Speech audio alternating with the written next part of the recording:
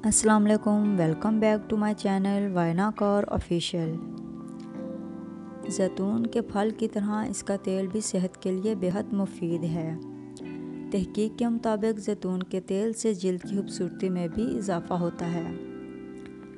मज़ेदार जैतून की तरह इसका तेल भी कुदरती फ़वाद से माला माल है। ख़वातीन को चाहिए कि वह जैतून से बनी चीज़ों का इस्तेमाल करें। क्योंकि जैतून का तेल कुदरती मॉइस्चराइज़र का काम देता है।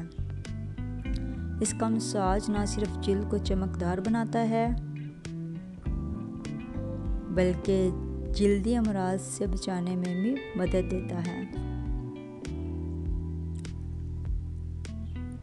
अरब ममालक में जैतून के तेल में खाना बनाने का रवाज बहुत पुराना है।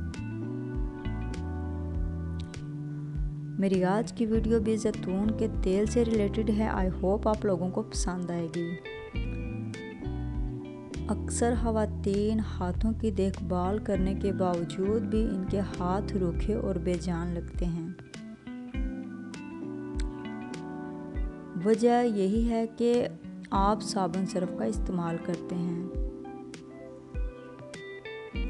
जिनमें मौजूद केमिकल्स आपके हाथों को रूखा कर देते हैं। हाथों की नरमो मुलायमी को बरकरार रखने के लिए ये नुस्खा बेहद मुफीद है।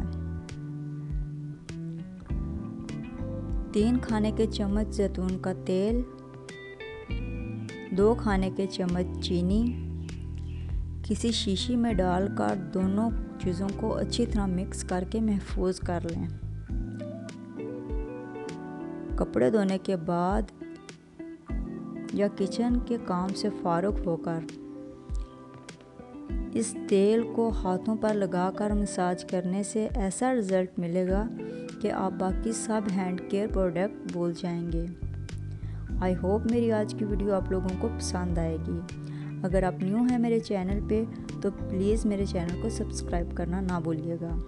वीडियो पसंद आई है तो इसे कर दीजिए लाइक मेरे चैनल को कर दें सब्सक्राइब और साथ लगे बेल आइकन को कीजिए, प्रेस दुआओं में याद रखिएगा। अल्लाह हाफिज़।